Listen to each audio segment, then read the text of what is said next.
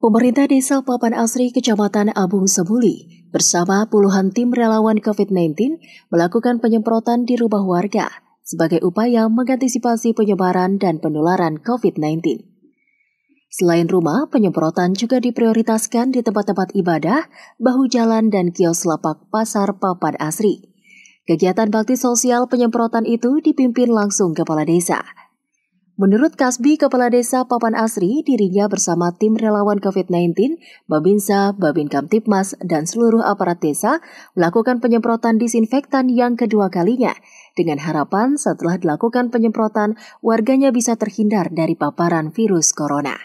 Uh, pada hari ini, saya sebagai Kepala Desa untuk melaksanakan uh, peraturan-peraturan uh, dari pemerintahan, yaitu untuk penyemprotan disinfektan pada hari ini yaitu khususnya aparatur desa untuk menyemprot di fasilitas umum yaitu di balai desa, di masjid dan di pasar dan sekaligus pembagian masker di masyarakat seluruh masyarakat desa Papanasri ini.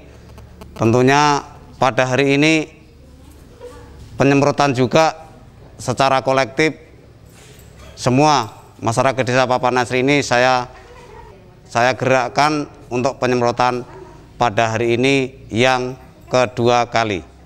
Lain halnya dikatakan Babin Kamtipmas Bripka M. Suwandi, didampingi Babinsa Koramil 412011 Abung Sebuli, pihaknya berharap kepada seluruh lapisan masyarakat untuk menaati peraturan pemerintah, menurutnya dengan menaati anjuran pemerintah, mudah-mudahan penyebaran virus corona bisa diminimalisir.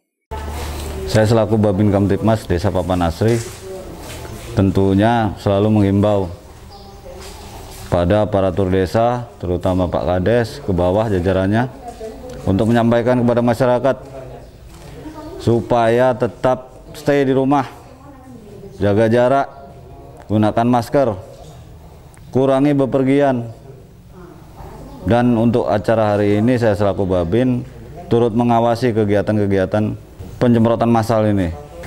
Tadi sudah disampaikan dengan Pak Babin Kaptimas, sudah panjang lebar. Saya akan menambahkan sedikit imbauan dari Babin Babinsa khususnya Desa Papan Nasri khususnya untuk warga baik pendatang maupun yang baru masuk di kampung desa Papan Nasri ini semuanya di karantina.